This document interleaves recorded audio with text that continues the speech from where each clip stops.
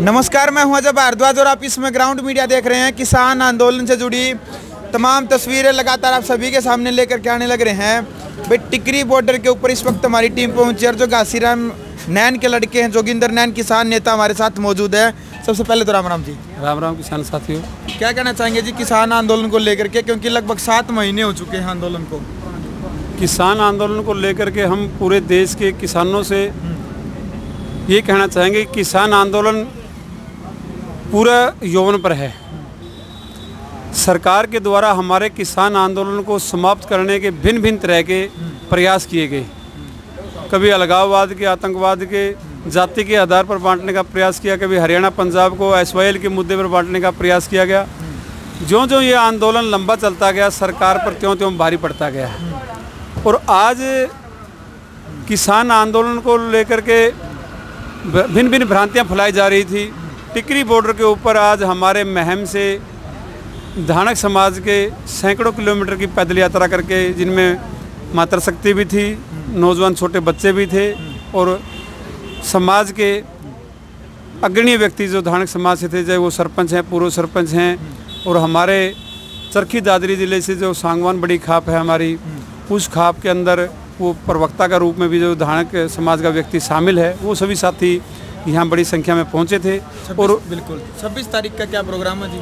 छब्बीस तारीख को पूरे देश के अंदर संयुक्त मोर्चा की तरफ़ से काल दी गई है कि पूरे देश के अंदर सभी प्रांतों के राज्यपाल के माध्यम से राष्ट्रपति को ज्ञापन देंगे और सात महीने हमारे पूरे होने जा रहे हैं। इस बात को लेकर के हम हरियाणा पंजाब की इकट्ठी राजधानी चंडीगढ़ है। चंडीगढ़ में सारे हरियाणा के किसान सभी वर्गों के, सभी समुदायों के लोग इसमें पूर्ण रूप से सहयोग करेंगे। जिस तरह से भी आज तक की जितने भी संयुक्त मोर्चा की तरफ़ से काल दी गई हैं, वो हरियाणा, पंजाब के, उत्तर प्रदेश के सभी किसानों ने राजस्थान के सौ प्रतिशत काल पर पूरा उतरे हैं। मुझे आशा और उम्मीद है कि अब की बार भी पूरे हरियाणा प्रदेश का किसान किसान के अलावा जितने भी हमारे समुदाय, सभी वर्गों के लोग हैं, सभी धर्मों के लोग हैं, वो उससे भी दो कदम आगे बढ़ करके जो राज्यपाल को ज्ञापन देने का काम है उसमें सभी वर्ग शामिल होंगे। हम सभी किसानों से सभी वर्गों से यही अपील करना चाहते हैं। बिल्कुल। हरियाणा के डिप्टी सीएम दुष्यंत चौटाला का कल एक बयान आया है कि यह आंदोलन अब किसानों की मांग का आंदोलन नहीं रहा है अभी एक राजनीतिक आंदोलन हो चुका है। डिप्टी सीएम से तो क्या कहें? जो हरियाणा प्रदेश का मुख्यमंत्री है वो हमारे जब आज से साढ़े छः महीने पहले जब किसान आंदोलन करने के लिए आया था, उसने तो यहाँ तक कहा था कि किसान है ही नहीं हरियाणा का। अब वो ये तो कहने लग गया, किसान आंदोलन में किसान नारा करके राजनीति करने लगे हैं। ये तो मानने पर मजबूर हो गए हैं। जो डिप्टी सीएम है, दुष्यंत हरियाणा का, इस छः साढ़े छः महीने से पहले छः अक्टूबर को, हमने पूरे संयुक्त मोर्चा की तरफ़ से, जब तक तो संयुक्त मोर्चा भी नहीं था, हरियाणा के सत्रह संगठनों की तरफ़ से, उसके निवास का घेराव किया था।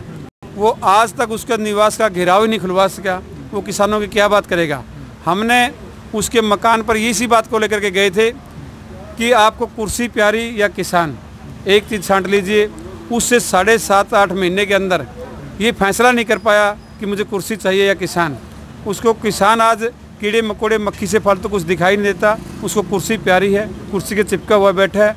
कहें, जब कहता है वोट लेने का समय आता है, मैं देवीलाल का वारिस हूँ, देवीलाल का अंश हूँ। लेकिन आज उसके अंदर कोई देवीलाल का अंश की एक लेस मात्र भी कहीं दिखाई नहीं देता।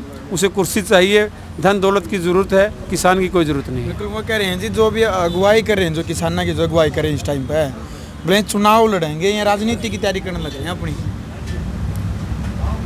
ये किसी भी संविधान में ऐसा नहीं लिखा कहीं भी भी कोई व्यक्ति चुनाव लड़ नहीं सकता आगे लड़ेगा। ये जो हमारे हरियाणा प्रदेश का दूसरी बार मुख्यमंत्री बने हैं मनोहर लाल खट्टर।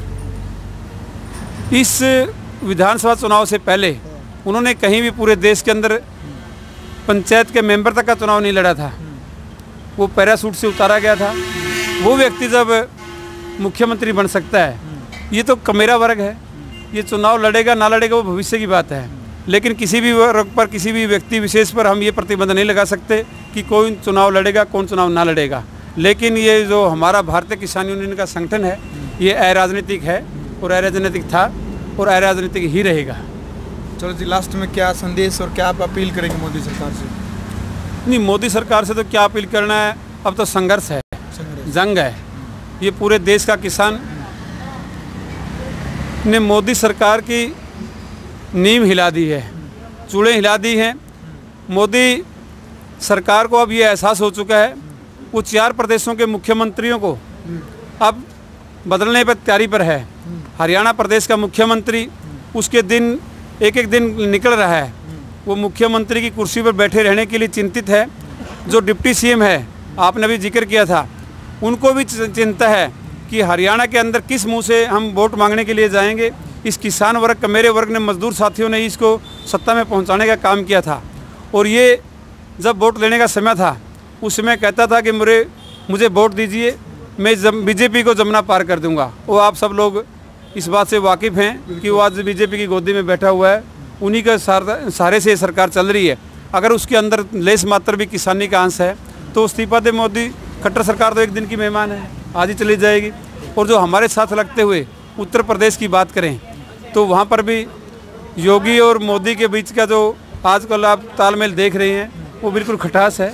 और उसको भी चंद घंटों का, चंद दिनों का मेहमान माना जा रहा है कि वो सत्ता में कब तक रह पाएँगे, कब तक ना रह पाएँगे। इसी तरह से कुछ और प्रांतों के, प्रदेशों के मुख्यमंत्रियों की, बीजेपी के अंदर भागदौड़ मच रही है कि किसको मुख्यमंत्री कुर्सी पर बैठाया जाए, जाति समीकरण बैठाए जा रहे हैं। वो अलग अलग तरह से ये देख रहे हैं कि आज उत्तर प्रदेश के अंदर लोकसभा की 80 सीटें हैं। अगर आज छः महीने के अंदर इस प्रदा- प्रदेश के मुख्यमंत्री को चेंज करके किसी तरह से भी साख बचाई जा सके तो हमने इसको बदल दिया। वो अपने आप में ये चाहता है कि किसी भी तरह से हम गाँव में घुसने के लिए तैयार हो जाएँ। लेकिन मुझे आशा और उम्मीद है कि पूरे उत्तर प्रदेश के अंदर, पूरे पंजाब के अंदर, आने वाले 2022 के अंदर जो चुनाव हैं, बीजेपी के कोई भी व्यक्ति टिकट लेने के लिए तैयार नहीं रहेगा। अगर कोई तैयार होता भी है तो पूरे देश का किसान, मजदूर साथी, कमेरा वर्ग, इनको गाँव में घुसने नहीं देगा। पूरी तरह से प्रतिबंध आज भी लगाया हुआ है। और इसी तरह से रहे तो ये कहीं भी बीजेपी का आप लोग हालात देख रहे हैं। अभी भी पूरे देश के 11 प्रदेशों के मुख्यमंत्री पश्चिम बंगाल के अंदर झोंक रखे थे। 250 से ज़्यादा एमपी वहाँ थे। पूरी केंद्र की सरकार ने गोडे टेक रखे थे। फिर भी इस हमारे किसान आंदोलन की वजह से पूरे देश के अंदर जो लहर चली है, उसकी वजह से वहाँ बीजेपी को करारी हार मिली है। उत्तर प्रदेश के अंदर भी आप जो पंचायत का चुनाव है, वो बिल्कुल ग्राउंड सत्र का चुनाव होता है। वहाँ से भी बीजेपी को साढ़े तीन सौ में से, लग, साढ़े तीन हज़ार में से सात सौ के लगभग जो पंचायत के चुनाव जीत पाई है, बड़ी मुश्किल से आने वाले समय इनके लिए बड़ा मुश्किल होगा। चलो भाई, वीडियो आपने देख लिया किसान आंदोलन को लेकर के क्या कुछ रणनीति है और किन मुद्दों, जो चार पाँच मुद्दे हैं उनको लेकर के जोगिंदर नैन है, जो किसान नेता, उनकी क्या राय थी? अब आपने कमेंट बॉक्स में अपनी राय रखनी है और चैनल को आप ज़्यादा से ज़्यादा शेयर करें सब्सक्राइब करें। ग्राउंड मीडिया के लिए टिकरी बॉर्डर से अपने राष्ट्र निर्माण की जानकारी के लिए ग्राउंड मीडिया चैनल को सब्सक्राइब करें और शेयर करें।